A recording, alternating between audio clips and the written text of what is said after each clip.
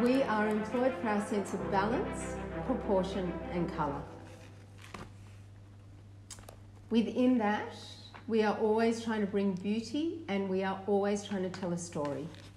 When we talk about our background and how we came to be in the field that we are in, we have to look back, right back to when we were young, and we have to look back at how we were brought up as individuals, why we were curious, why we realized there were things that we could kind of play with and we could extract the beauty out of those things.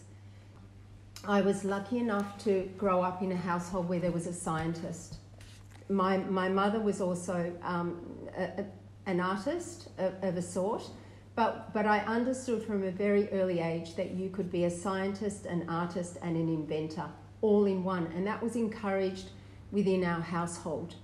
Um, and that made it a very easy platform to start to become curious and then start to look at the curiosity of things and then put them into a beautiful perspective where balance, colour, and proportion were considered. I was brought up in the country in New Zealand, and my mother was a landscaper, my father a mechanic of sorts, so very much a, a home mechanic.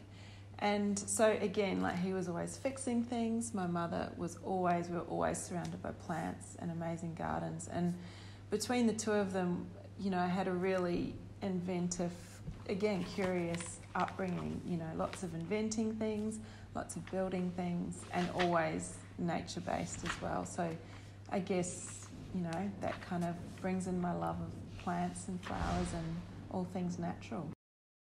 So I think that when you end up following your path, as as we've done, it, it doesn't mean to say that if you don't have that background, you can't follow that path. I think that that's a really important thing because you can immerse yourself in the things that you love and and and that feeds you and drives you to do what you're going to do, e- even if you even if you grew up in a non non-artistic household. Yeah. I think that you just have to kind of follow your path. I'm Virginia Dowzer and I'm a creative. And I'm Katie Marx and I'm a florist. And we're here to teach you about installation for events, exhibitions, moving image, and stills as part of the LCI Masterclass series.